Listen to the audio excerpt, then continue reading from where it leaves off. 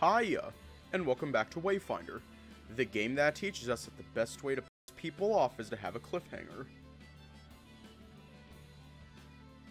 I don't know. Um, that, that just seems like a good way.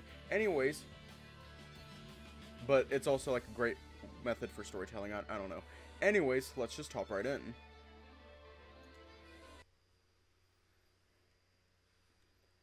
The four of us stand on an empty path near the riverbank as I look off the side over the railing. Across the ride, across the wide river, I can see a great many buildings, their lights adorning the dark night like stars. Alright, Finn, let's go over the de details again. I want to make sure we've got them all straight. I sigh and turn to the three wolf giants to repeat myself once again. It started the night I met Arkyn. Hiya. I had a dream where I woke up in a field and ran after the sun. I heard a voice calling to me, but it sounded faint, almost weak. After I met Geralf, I went to the library and fell asleep while studying, where in another dream I was in the body of a wolf chasing after the moon. Throughout that dream, I was being spoken to by the voice again. It was cryptic, but it seemed to want me to find something. Earlier today, I had an almost lucid dream wherein I was pulled through space away from the planet. I ended up in some place that felt and looked like the same place from the first two dreams. It was there that he introduced himself, Skoll. I lean back against the railing and look at the three wolves in turn as I continue. He asked me to help him find Hati and free their father, and told me not to trust Aesir. Not to trust the Aesir. I told him I'd try to help him out. Do, do any of you know what the Aesir is? How does it relate to this? Three wolf giants shuffled a bit, clearly at, at a loss for words and trying to come up with something. It's Bjorn who speaks up first. I can tell you that the Aesir are beings of old that help guide the worlds on their true path. Your realm should have information on them, being one of their realms, or the realm of man, Midgard. Why Skoll is telling you not to trust them, however, I can't say. I can't either. Hiya. Can't either, so I decided to move on. Well, how about these dreams? Are they typical of finders? Should I expect this more often? Not necessarily. Generally speaking, a finder's main powers are to sense intention, see people's true paths, and, see, and to see through glamour magic. It sounds like you're saying that you've crossed the divide, Finn. The fact that you, you can use magic to speak with us through your mind is one thing. However, unless you're a magical prodigy, I think it's a safer assumption that this is, indeed, Skoll talking to and he pulled you through the divide and sent you back. You were asleep after all, but it shouldn't have been all in the course of a nap. That's what I can't figure out.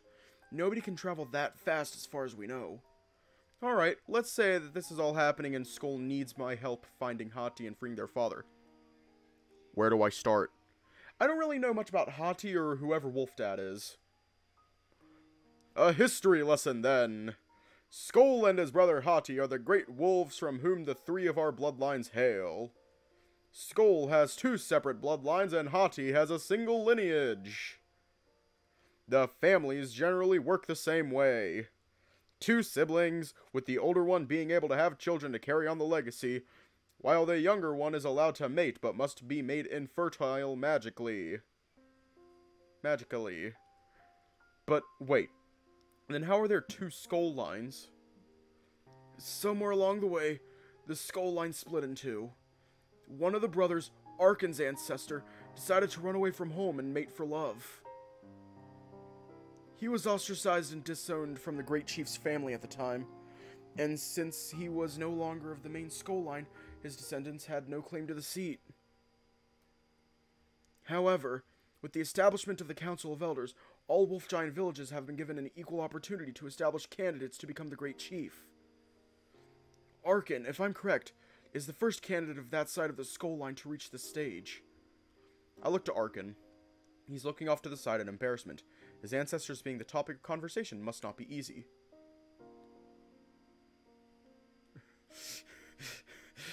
Is there going to be another conversation between you and Drax, Amethyst, that I will be laughing my ass off later, too? That's pretty romantic. Arkyn's ancestor running from duty and tradition for love and freedom. I mean, but what does that have to do with Skoll and Hati themselves? How does it all fit together? He was blamed for it. What do you mean, Arkyn? What was your ancestor blamed for? Arkyn looks into my eyes with sorrow and sighs. As I was growing, my mother would tell me this story every now and again. She wanted me to remember what my ancestor did, why he did it, so that I would never hate him for it. The great wolf made his children Skoll and Hati lead the wolves of the Iron Wood. Our lineage was tasked with protecting every village and expanding the Iron Wood. Those were the only tasks left to us. He knew the traditions were enforced upon our families by their own ideals and not born of the will of our progenitors. Hold on. Protect the villages from what exactly? The three wolf giants looked to one another for an answer to my question, but none of them seemed to have an answer. A good question, Finder. You're lining things up nicely. I hear the voice, but nobody else seems to. See, that's the fun thing. I, I feel like... Okay, okay, okay, okay. Right now I'm trying to figure out which of these is Skoll and which one is Hati. Because, like, Arkyn over here is just is just love. He's just love. He's just love. It definitely didn't sound like Skoll, Then who was it? I open my mouth to mention it when Arkyn picks back up again. My ancestor and his brother grew up with their friend, a woven lass from their village. Over time, both brothers began to love her. One day, my ancestor's brother was named Great Chief, and my brother was prohibited from having offspring. The Great Chief attempted to claim the girl the two brothers had known their whole lives as his mate. Although she did not love him, she was forced to accept his offer of courtship by her parents. However, in secret, the girl loved my ancestor. The two planned to escape. Although my ancestor was forced magically to be made infertile, his mate was already bearing pups, and so they ran away together to live happy lives. That's how the Vessel line was formed. That is not how my people would tell it, though it bears more truth than the versions of the tale I have heard simply by the merit of its storyteller. I do not trust my family to tell a version of events unmarred by some lie here or there to save face. Arkyn, it cannot have been an easy path, and I apologize for the harm my lineage has done to you and yours.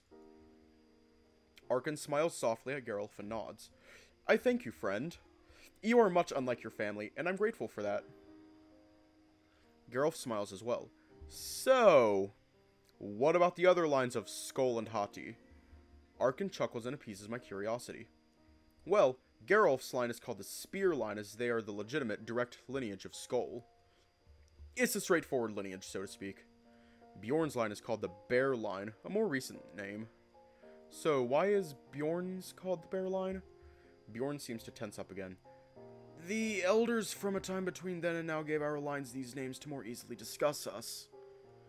But since we recently took back the role of Great Chief, the elders likened the period out of power to a hibernation. Hence, bears. Cute. I nod in understanding, hiding my delight at the nickname's fittingness for Bjorn's stature. When Bjorn finishes his explanation, I decide to pull the topic away from the talk of names and back to Arkyn's family history. Arkyn, what exactly happened after your ancestors left? Why were they ostracized so harshly? I get that he stole the bride or whatever, but that can't be it, can it? Was Geralf's ancestor really that vengeful? You said he was blamed for something. Was... was it that? Shortly after all this happened, Skoll and Hati convened somewhere in the Ironwood. Their last sad howls were heard together by everyone. Nobody... nobody saw them again after that. My ancestor. He was blamed for Skoll and Hati disappearing. They said he broke the traditions of the Ironwood and that Skoll and Hati chose to leave us because of his actions. The young of my lineage have always been called things like vessels of evil by other children growing up. We generally don't have to deal with that in our village, but outside of it, others can be cruel. Oh, Arkyn. Poor guy. My ancestors have eased up on ostracizing Arkyn's line through the through the years, though mostly they simply have done so because they feel it is beneath them. I myself feel the entire thing is petty on our end. More than that, nobody should be blamed for happenstance, and it would appear I was right. From the sounds of it, I would say Skoll and Hati have been enslaved or captured by the Aesir. That may explain their their anguished howl so long ago. I prod him with my elbow. Weren't you just saying yesterday something about hoping that Vessel Wolf failed out before the trial? Geralf suddenly looks embarrassed and laughs nervously as Arkyn studies his face. If I am honest, that was not an insult. Arkyn is known to my family as a pretty active and diligent person. Even I hear tales of his deeds and to help his village from my tower. I was hoping I would not have the competition. Arkin laughs at this and pats Geralf on the back. Still, if your theory holds any water, I think we should look into these Aesir. If they have captured Skoll and Hati for some reason, we need to figure it out and free them. Maybe doing so will help us determine which of you should be the Great Chief. Well, you still only have half of the story there. Back to Skoll and Hati themselves. The two were known to bicker about what they wanted to focus on for the Ironwood. Hati wanted to expand outside the Ironwood, while Skoll wanted to keep the Ironwood contained within itself to protect every village. Ideally, the Great Chief would focus on both of these desires. Geralf scoffs and glares daggers at Bjorn. He also drops the formal charade, and I can tell he's getting pretty upset. That's rich. Hey, Arkyn, does your village feel very protected to you? There didn't seem to be much help from the Great Chief after the Blight, did there?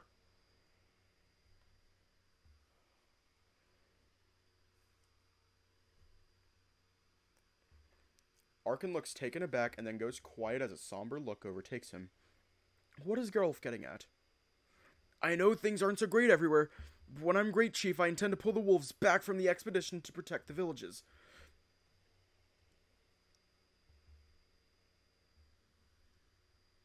Protect the village using funds properly and ensuring... Geralf cuts him off after hearing just a few seconds, clearly not intending to listen to Bjorn as his anger seems to have a hold on him. Bjorn is stunned in silence. When you become the great chief, it's because of two generations of haughty wolves upholding one of our traditional ideals and ignoring the other that all of the healthy and able wolf giants were sent off to distant corners of the world. Meanwhile, the old, sick, and young fended for themselves. I don't intend to let some pillow sniffing over wealthy ass take the position of great chief. Bjorn looks in shock looking perplexed by what Geralf has just said. I want to jump in and defuse the situation, but I'm not exactly equipped well enough to dispute anything. And? What exactly are you doing to help? As far as I've heard, you're tucked away nice and safely in your tower waiting for your prince to save you. The argument between them continues on as I'm forced to watch them bicker back and forth. An insult here, a near threat there. Am I in over my head here? Hey, yo! Just. Wow.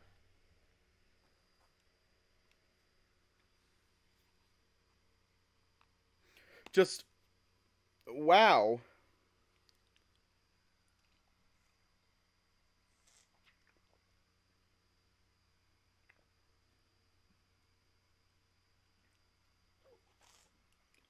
Am I in over my head here?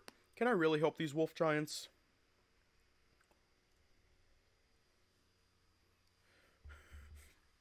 Arkyn is just smiling. I find it hilarious. Like, like Arkyn, Arkyn is over here, just like, haha. Geralf is like, Geralf is like, ah, you want to square up, big boy? And, well, no, Geralf is like that, and Bjorn is over here like, fuck around, find out, bitch. Just. I find it hilarious. Like, Arkyn is just over here enjoying it. He's just having the time of his life. Well, the text doesn't match up, but the sprite. Like, if, if we just if we just go by the sprites, if we just go by the sprites. Arkyn's having the time of his life.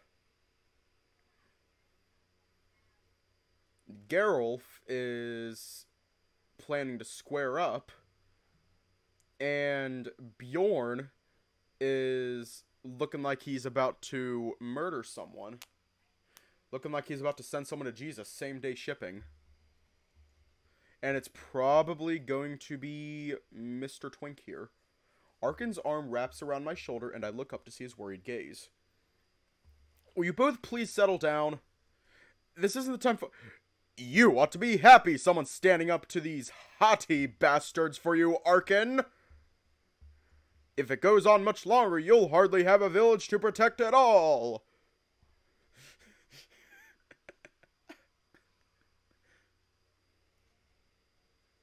Bjorn stops himself from saying what he was about to say and looks at Arkyn in surprise. What does he mean, Arkyn?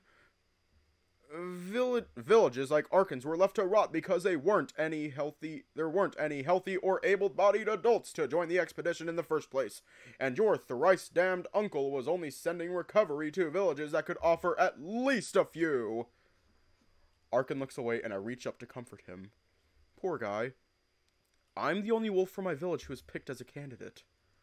All the other wolves are much too old or have children to care for. Most of our sick have already. He doesn't need to finish the sentence.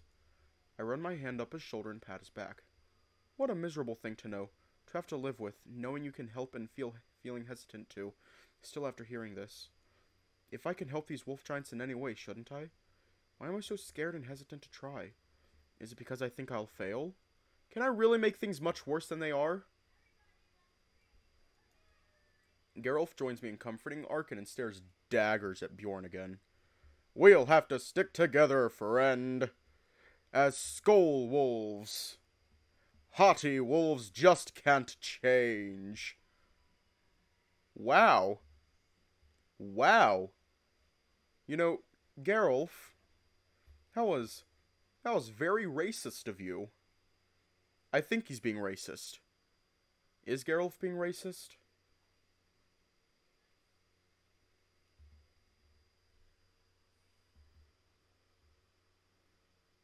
I'm, I'm pretty sure Geralf is being racist right now.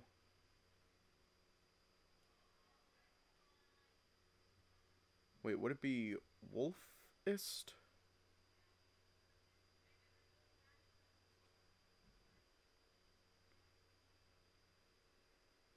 Lineage-based prejudice. Lineage-based prejudice. Okay, uh lineage based prejudice.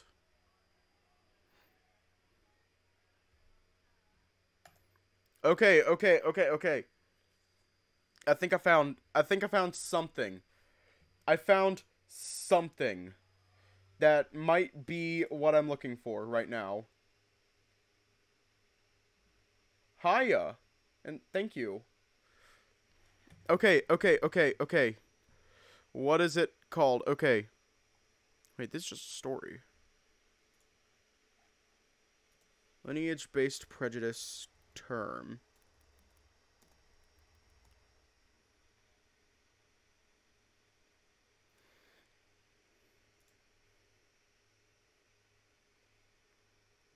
Okay, okay. So, types of bias. Control F.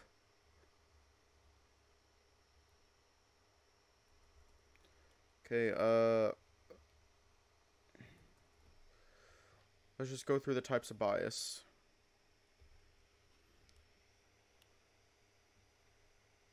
Biphobia, classism, discrimination. It's it's at least discrimination. It's not a hate crime, I think.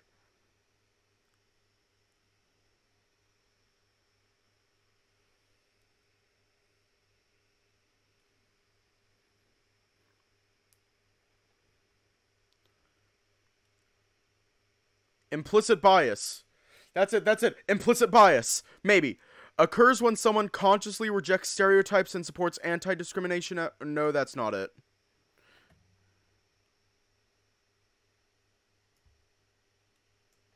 Okay. In group bias, the tendency for groups to favor themselves by rewarding group members economically, socially, psychologically, and emotionally in order to uplift one group over another. That's exactly what it is. Thank you, Wayfinder Levon. Thank you. M much appreciated. Very pog. Just round of applause. Thank you for pointing it out. Th round of applause. Just round of applause.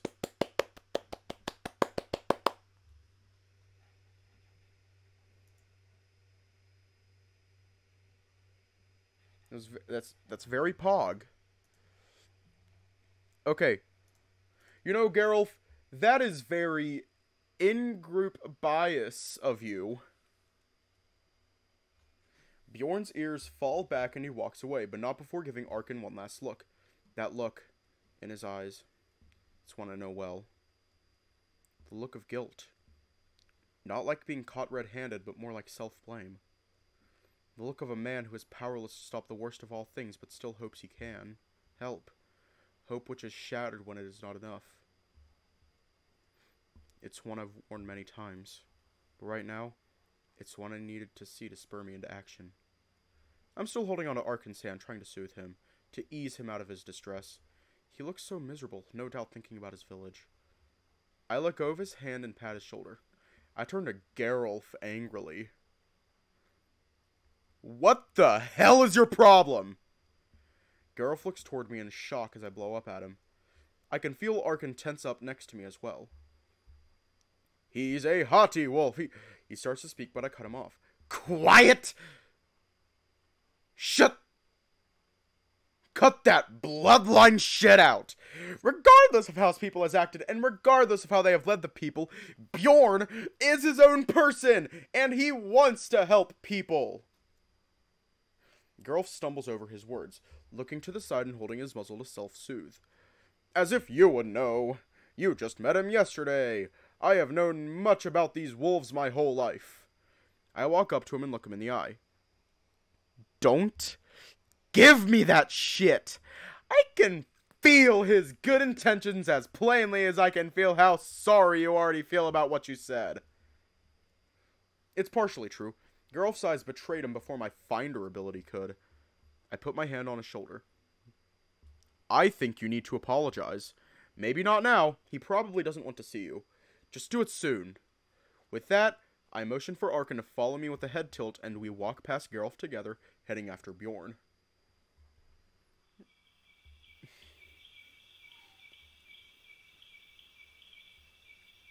Not gonna lie, I thought that said Flynn for a second.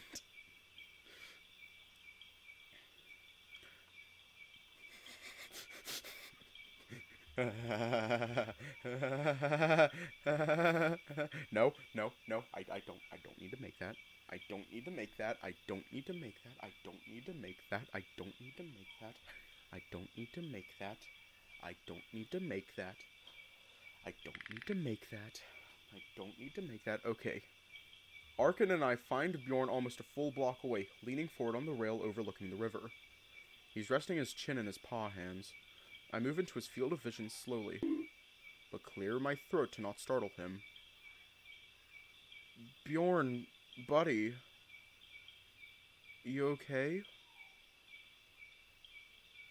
He sighs and looks toward me, his expression a bit sad. Y yes, I'll be fine. Just a little stung, and honestly, the alcohol I had earlier didn't do as much to ease my nerves as I'd like. I place a hand on his shoulder to comfort him. Must be a heavyweight, huh? I'd love to drink with you sometime. Been hankering for some mead. Well, why didn't you order some at the pub? We ordered beer, but they had mead and ale too. Arkyn laughs and pats my shoulder. I wanted you to be able to keep up, love. I scoff, blushing at his very pointed innuendo. I can keep up just fine, mister! Fuck, that was awful. I can keep up just fine, mister. Well, I'm not much for mead. I prefer spirits myself, but I'd love to drink with you sometime, Arkyn. You should come with us, Finn. I smile. Bjorn's spirits seem to be lifted, but I daren't say much lest I start an all-out pun war. Oh, oh! Fuck! Fuck, that was a pun! Shit. Well, the night is still young. We can just go tonight. Well, I actually know a place. It's not too late for me to call it. I can get us a private room.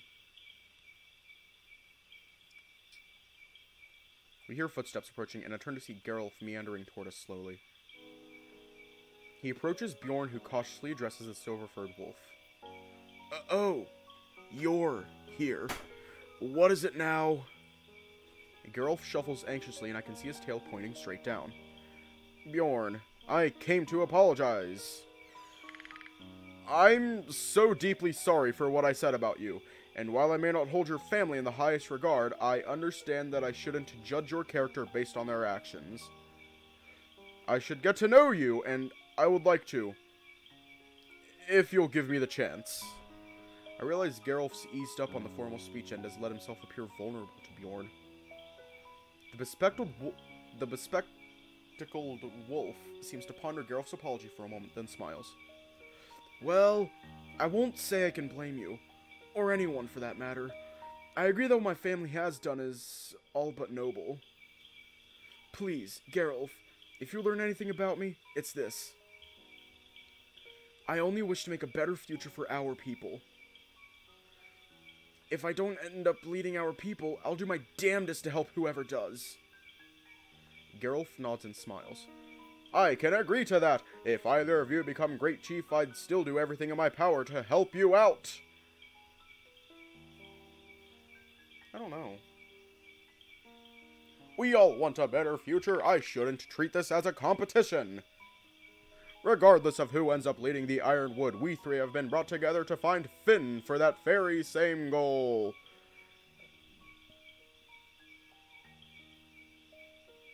Bjorn moves away from the railing and hugs Geralf tightly, which throws me off.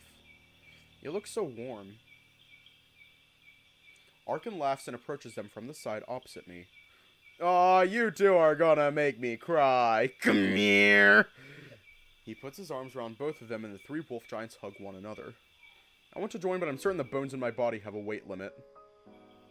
I resign myself to just smiling and patting their shoulders while standing next to the furry mountain. We will be like one big happy family in no time. Seeing these three like this, I can't help but to think about which of them will ultimately become the great chief. More than that, my mind is brought back to Skoll and Hati. I don't know much about them at all, and my wolves don't seem to have much to go on either. Who is their father? Another good question, Finder. However, there's another question, not unlike that one, that you must find the answer to.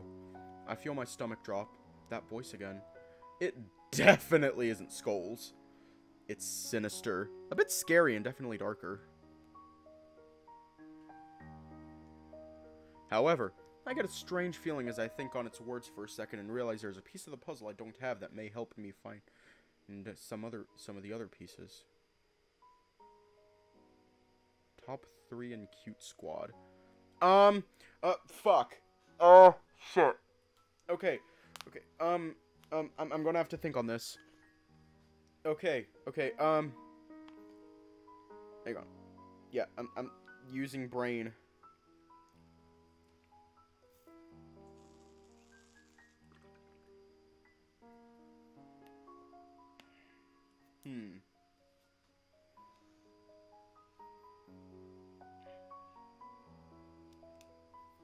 Hmm.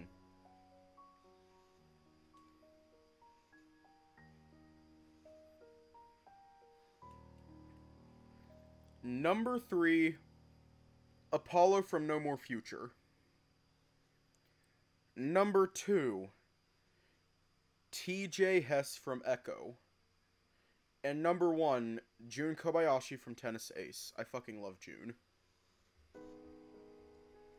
A question I must find the answer to, similar to my former question? That seems too obvious. And yet it's genius.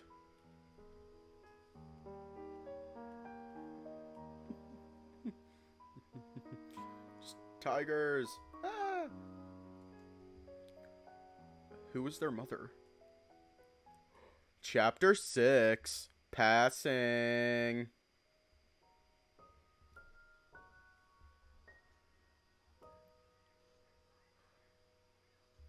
I hold my hand over my eyes to block the sun from view. It's already bright enough for an autumn day, but I think I really had a lot to drink last night.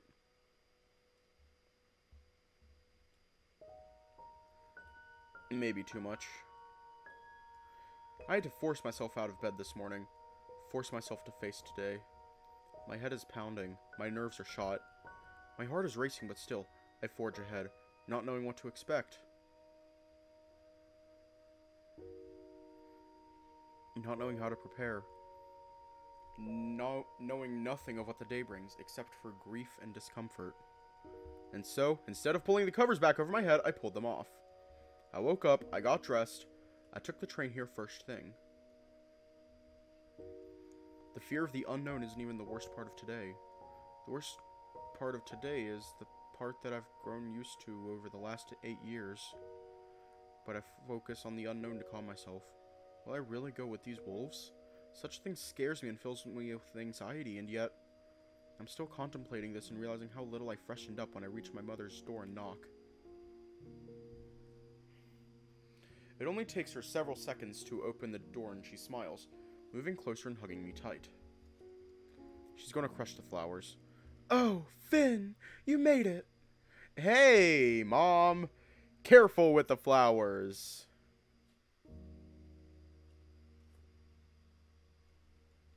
She laughs and pulls away, looking me over, slightly pressed flowers and all. After a moment, she motions for me to enter my childhood home. As we enter the living room, I can't help but look around, searching for any evidence of hastily hidden glasses of wine, or bottles of the stuff, for that matter. Noticing none, I turn to my mom, impressed. No alcohol. You're sober today of all days? I said June! She smiles and nods excitedly. I wanted to surprise you. I decided it was time to finally turn over a new leaf. I realized when I called you yesterday that I need to be more aware of what I'm doing to distress and cope with things. I threw it all away. I haven't had a drop since. Don't worry about it. Ah! I look at her in awe, smiling. Damn, she's got me beat by half a day.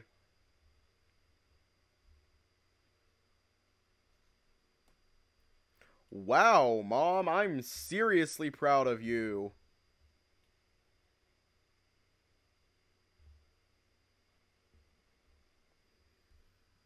I'm going to forget about that. Sorry, I'm, I'm going to forget all that. I'm sure Dad is too. Thank you, Finn. That means a lot to me. We smile at one another warmly, and I change the subject. So, are you ready to go yet? My mom tilts her head toward an embroidered blanket she looks as if she's working on, pursing her lips as if to indicate she's not willing to answer. I take the hint. Well, you finish what you need to. Mind if I wash up? I didn't get a chance to shower. Go on ahead, sweetie. You know where the towels are. I do. I head up the stairs to the bathroom. Entering the bathroom, I close the door, slumping against it with a sigh. It's tough to see her like that, pretending things are alright. But am I really doing anything different? I woke up knowing today would be tough for me. I can only imagine how it is for her. Still, I hope everything goes well, so that I'm in a good so that I'm in a good headspace tonight. If I'm going with the Wolves, I want to make that decision at full capacity. I start the water in the shower and let it get hot, then turn the temperature down just a bit. After spending some time soaking myself under the water, I decide I should use some nice smelling on my skin and a good shampoo and conditioner to round it out, to round it off. Which one? This is. I have a feeling that this is the most important decision we will ever make.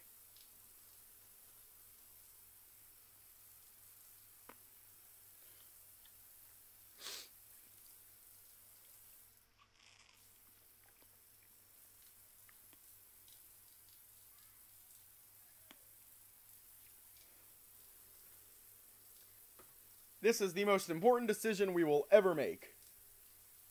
I start to rinse through my hair and run my hands through it. Looking over to the shower caddy, I reach for a bottle of citrus and hibiscus shampoo and begin to pour a healthy dollop into my head. Closing the bottle, I set to work applying it to my hair and working it into a lather. After about a minute of exfoliating and scrubbing, I start to rinse it out. I work on my hair for another few minutes, taking care to also treat it with the hibiscus honey conditioner. I decide to use a bar of lavender soap to wash my body with, and after a few minutes scrubbing and doing another round, I rinse off completely. I set the water to be a bit cool, and then, after finishing, I grab my towel off of the bar next to the shower and step out to dry off.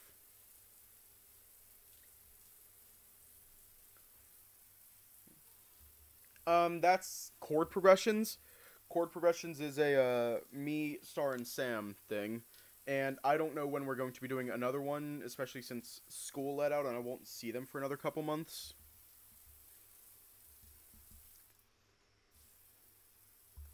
So, yeah. Finishing my shower, I decide to spruce up in the mirror.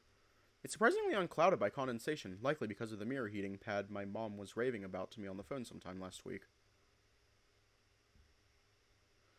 A Besamorph or the Tech...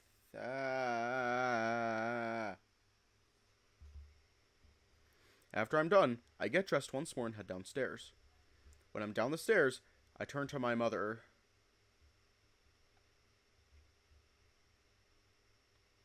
Woohoo! Smiling and presenting myself. She laughs and claps for me. Oh, there's my handsome son! I don't know who that tired, world weary man was earlier, but he's gone now. I laugh and wave off the comment. You all finished? My mom nods and holds up the beautiful embroidered blanket she has been working on. Yes, all finished. See? I smile and hold a thumb up. It looks like it was made by a master of her craft as usual. Dad will love it. I know it. We ready to go? My mom nods and gives me a chuckle. Of course. It's not like we need to wait any longer. Your father is already there, after all. I can't help but snort, even though it's a pretty morbid joke. It's exactly the kind of bad joke he would have made. We arrive at the opened gates of the graveyard together, arm in arm, with my other arm carefully holding the bouquet of flowers we just picked up from the florist.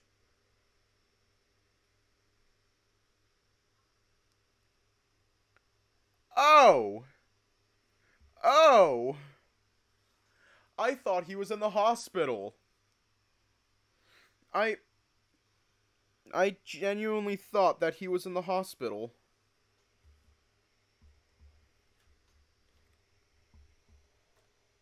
My mother is carrying the embroidered blanket over her other arm held against her waist with an envelope in her hand. As we cross as we cross the threshold, I feel a strange feeling washing over me, some sadness that I know isn't the sadness I brought with me. My mom speaks to me. Are you alright? You stopped. Y yeah, I just wanted to check on you. Do you need anything before we go on? She ponders for a moment, as if she is debating saying something, but shakes her head. No, I'll be okay. We should get going, before the graveyard fills up with people. There's supposed to be a funeral today. That's odd, but not entirely unheard of, I suppose. Won't that interrupt service? The church attached to this graveyard doesn't hold regular mass anymore. You're likely holding, holding the funeral mass here, though. I don't see any cars. We shouldn't be over long anyway. I nod and we continue on. Moments later, my mom stops me. Finn, thank you for being here.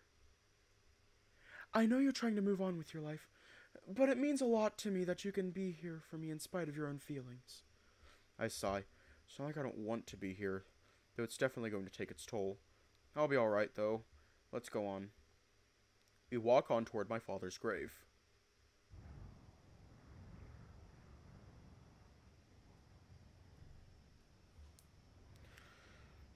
The trail winds around the edge of the graveyard and under many trees. It would be hard to tell where to stop walking and turn into a row. We've walked this path many times before. The two of us say nothing as we walk on.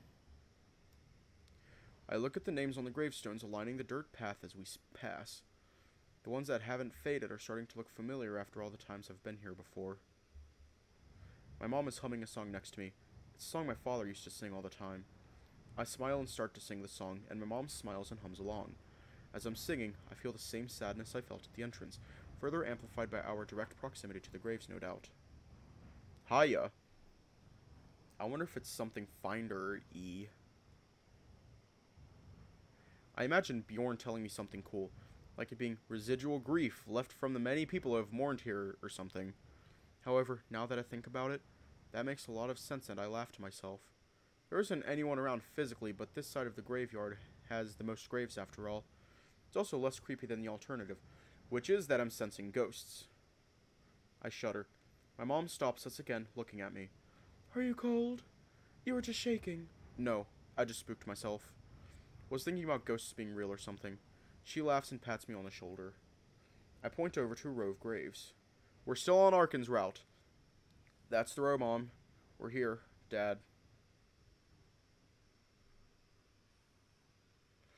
Oh shit, there's a new poster. I saw that, but I was thinking, oh, I might have seen it, but like everyone's bringing it up, so I'm going to go look at it.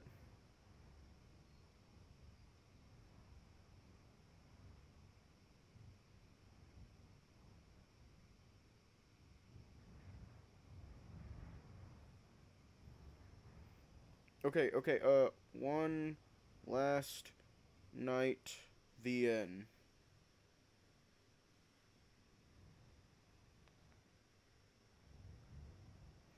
Oh, that is dope as fuck.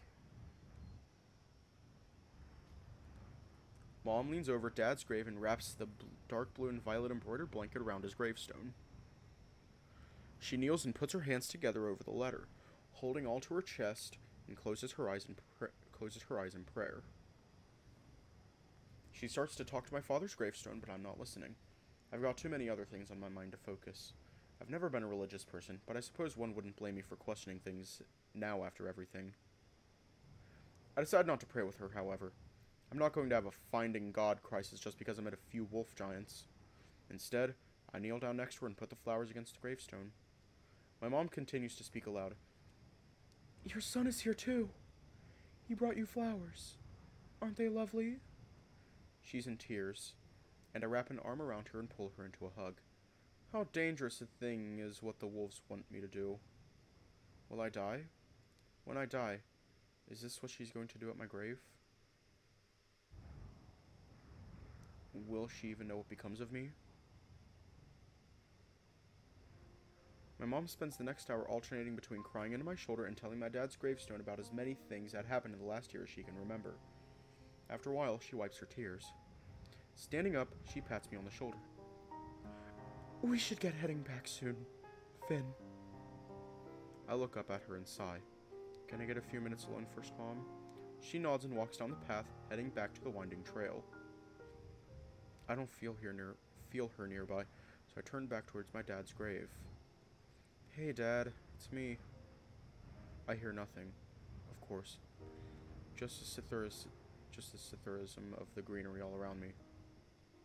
I feel my heart racing again. My breathing starts to shallow. Breathe in, slow. Hold it, good. Breathe out, slower. Dad, have you ever had to do something scary? So scary and unprecedented for anyone's age let alone someone's young. I sit there, my heart swelling. I wonder how you made it through. If you did. I lower my gaze to the ground. My breathing is shallowing again. Sitting down, I wrap my knees up against my chest. Dad, I've been so stuck in the past. And the things I've been through. I'm almost too scared to move on to this new part of my life. Breathe in, slow. Picking a major, dating guys, meeting these wolf giants. Breathe out, slower. All of it is just... Breathe in, but it hitches. Breathe out, try again. Breathe in, nice and deep, but it hitches again. I feel the tears welling up now and dip my head into my knees against my arms. Dad,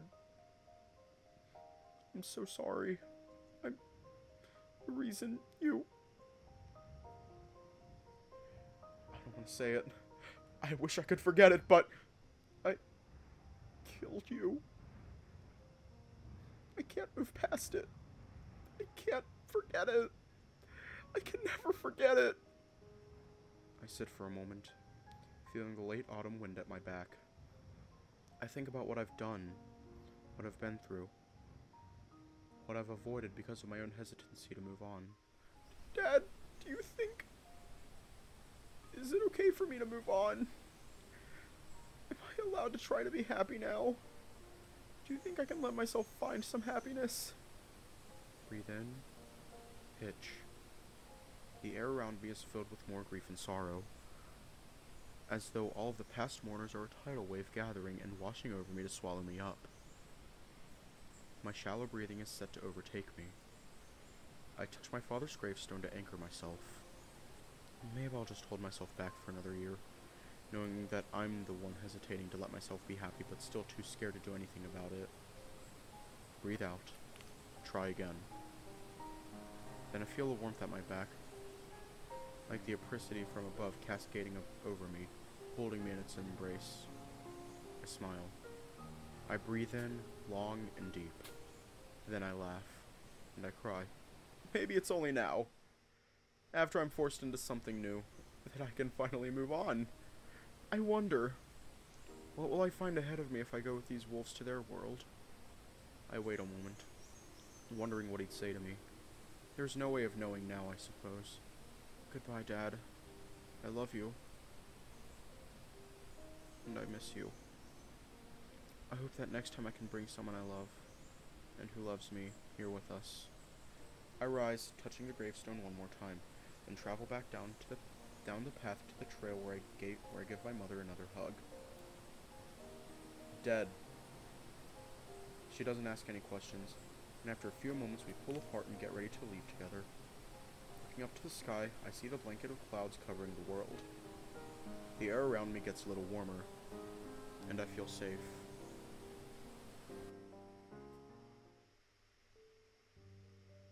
It's late afternoon by the time I make it off the train back in the city.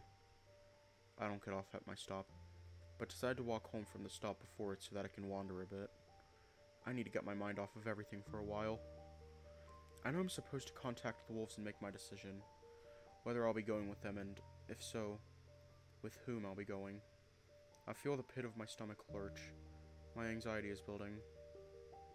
It isn't an easy decision, and I've put it off for longer than I intended, but it's almost too much to handle today of all days. I should have decided sooner. I did this to myself, really. After wandering for about 10 minutes, I cut through an alley that bisects a city block. I don't need to make a decision right now, because they told me we'd just be putting in more legwork to meet the elders if we can't go now. I actually consider doing this, but it's just going to lead to me flaking on them time and again. Then what would happen? I'd have three sad, maybe angry wolf giants to contend with, and more than that, my life will probably just go on. Mundane and never boring. The anxiety swells up as I think back to my talk with my father's grave. I shake the thought off. I'm making such a mess of the whole thing. The sun is beginning to set. If I don't go tonight, I'll just wake up again in the morning and there will be another chance then. If I do that, though, I have class the day after tomorrow. Emotional damage! Wolves told me they don't want to interrupt my life. They might not even let me go. I decided to just wander wherever my feet take me. I try to turn my mind off, but I can't help but think about them. About last night. We all ended up drinking together for over an hour after my wolves made up. They stayed together after I left for the night when I remembered I needed to get up early. I learned quite a bit about each of them last night, both while we were all drinking together and on the little date I had beforehand. Arkyn's family forsook their lineage to be happy. Despite the shunning and constant harassment from higher class wolf giants, they still managed to become a pillar of support and hope for their village. Geralf spent much of his life locked away from everything by his parents. He blames the haughty wolves for the state of the wolf villages, driving him to want to make change. Bjorn's family has been in control of the position of the great chief for two generations. He wants to reverse the hoarding of wealth and help the other villages as much as he can. As I wonder, as I wander, my mind drifts from one wolf giant to the next, and I find my anxiety waning as I think about him. The one I know my feet are bringing my body to. The one I will go to the other world with. Arkyn. I can't help but think about Arkyn again. He makes me feel safe, and I know I can open up to him if I just give myself a little push. I don't know how or when, but somewhere along my walk I knew I was heading for him. He's the person I want to be with right now. I wonder for a second if I'm just walking randomly and hoping for the best. Maybe I'm just hoping my finder abilities are working some magic. I decide to trust myself and turn off my resistance to it. Somehow, I just feel like I know where I'm going, so I decide not to interfere or change course. For all I know, Arkyn told me his address and I just sorted subconsciously. I know this is untrue, but it keeps my mind off of my new apparent wolf tracker ability, so I just accept it. After a bit of a walk, I notice the sun's starting to set. It's pretty late now, being early fall, so I figure I should find Arkyn as soon as possible. I'm in a district near the one I live in, and I come upon a series of row homes. One of the homes in the middle of the street is practically pleading for me to come knock on its door, so I approach carefully. I walk up to the dark blue door and knock. Is this the right home? Will Arkyn even want to see me? Why am I so anxious now? I feel my emotions welling up, fit to burst, and as the tears begin to fall from my eyes, the door swings open. I look into his jade eyes and he stares back in surprise. A tear drops from my eye, a whimper cries out from my mouth, and then a wolf giant is pulling me into a tight hug. Finn? Skoll preserve me, are you alright? I can't say a word, despite trying. I just cling to him and cry. Let's get you inside. Come on, Finn. I'm pulled alongside Arkyn as he brings me into his home and closes the door.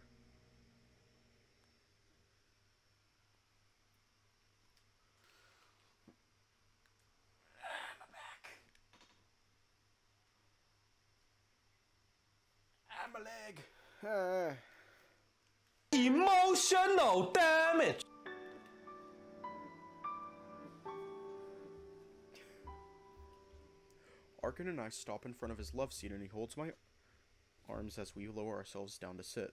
He pulls me in close and wraps his warm arms around me. There, there, Finn. It's all right now. I'm here. You can tell me what's going on, or, if you need, I can just be here and hold you like this. I nod into his chest as I take a moment to collect myself. My arms are around his waist as he holds me tight. I take a deep breath to steady myself. I get a whiff of him, the scent of a meadow alongside the natural musk I've thought about since we met Grace's since we met Grace's my nostrils. I let the scent overtake me and use it to relax myself. After a moment, I exhale. I finally feel like I can bring myself to speak. I'm sorry. Uh, am I being a bother? You don't need to be dealing with me right now. I'll just. Ah. He laughs heartily, and I feel him run his fingers through my hair. It feels really nice. Oh, stop it, Finn. Honestly, I was getting pretty lonely, and I would love your company. He pulls me away a bit and looks me in the eye. So, want to tell me what's gnawing at your ear? What's on your mind, Finn? I sigh and take another breath, then start. Today was my father's birthday. Arkyn smiles at first, then I see the realization dawn on him as he considers the context. He pulls me close again, and I feel his warm breath on my neck, and he holds my chest against, and he holds my head against his chest. After a few moments, we pull apart, and I continue. About eight years ago, my father and I were driving up the mountains for a weekend camping trip. I had my learner's permit, so I insisted that he let me practice driving for at least a few hours. I dropped my water bottle by my feet after I tried to put it in our cup holders under the radio and it fell off. I told my dad I was going to pull over to grab it, but he told me he'd get the bottle and unclasped his seatbelt to reach over and grab it. He picked it back up and put it in the cup holder between us where it couldn't fall through the bottom. We returned to just driving in silence. Arkyn is listening to what I'm telling him with a bit of an anxious look on his face. I continue recounting the rest of the tale. So about ten minutes passed and we were driving around a mountain on a road right by a ravine. Some debris fell down in front of us and I... well, I swerved off the road. We crashed into a tree. I was mostly unhurt, but my dad... He never put his seatbelt back on and...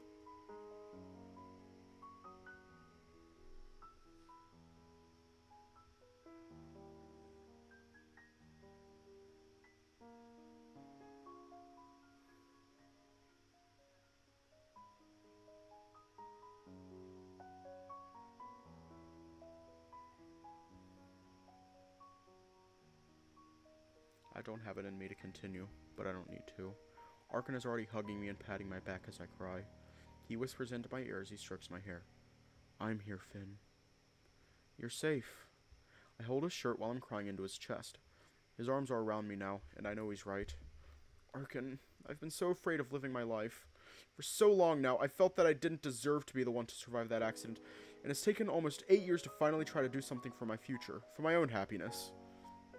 Finn, I'm sorry you had to go through such a horrible thing, Nobody should ever have to experience something like that. I know that days like this can bring about the pain you felt back then, but you don't have to handle those days alone. Not anymore. He's cradling me against him now, and it's warm. I nod. I wanted to believe that when I heard it from my mom and friends and family.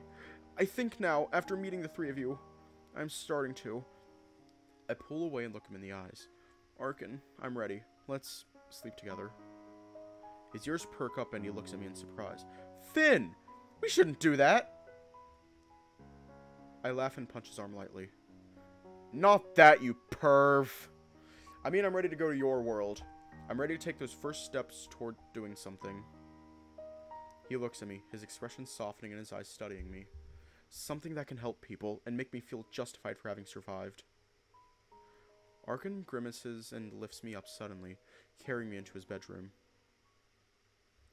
Arkyn lays me down on his bed. I instinctively kick my shoes off. He smiles warmly, locking eyes with me. Stay right there. I'm going to get the light. As he does, I pull my ankle socks off as well, balling them up and dropping them on the floor next to the bed. Arkyn stands and moves toward the light, shutting it off. The room gets pretty dark instantly, and the only thing I can make out is his faint silhouette. That, and those lustrous green eyes. I can't exactly make out what he's doing. As I start to sit up, I feel the bed shift, and his warmth hovers over me as I'm pushed back down. If the lights were on, he'd see me blushing hard, although, given he's a wolf giant, I assume he probably can. Arkyn crawls atop me, holding my hands down next to my head. His green eyes shine in the little moonlight his curtains allow into the room. I feel his gaze locked on mine. I can't help but blush, but further blush after realizing our proximity as his breath warms my neck. He leans in and whispers gently into my ear, Finn, you smell absolutely incredible. I chuckle at his comment, and he pulls away as I smile while locking eyes with him. He knows how to disarm me. To be honest, Arkyn, you do too. I can't get enough of it. Why is that? He leans back in and whispers once more. I need to tell you something very important, and I need you to listen carefully to my words. I nod and look into his glowing jade eyes. Finn, you're more you're more than worthy to have survived. Your father dying was a tragedy, not a punishment.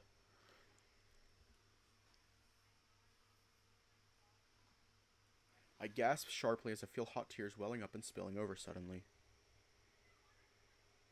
My breath hitches. His words hit something in me. Fuck. Arkyn wipes my tears and leans to my left, cuddling up close to me, holding me. Finn, are you sure this is what you want? To fall asleep with me here and wake up in my world? I nod. I want to help you three, Arkyn. I have to go through with this in order to do so. Aside from that, I hold my head against his chest and listen to his heartbeat. It's faster than I expected. Aside from that, I want to be here with you, right now, in the morning, and as long as I can be if you'll let me. Besides, it's not the first time I've fallen asleep in your arms. Is it? I haven't forgotten about the night you we met, you sneaky devil. He tenses up and I let out a laugh. He laughs, too. Eventually, I feel his heartbeat steady and I feel my own slow down until, moments later, I'm lulled into a deep sleep.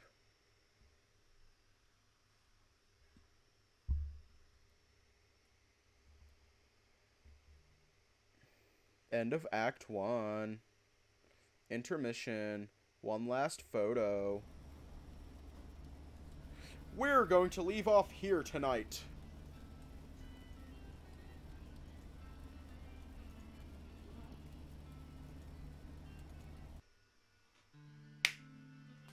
Ah!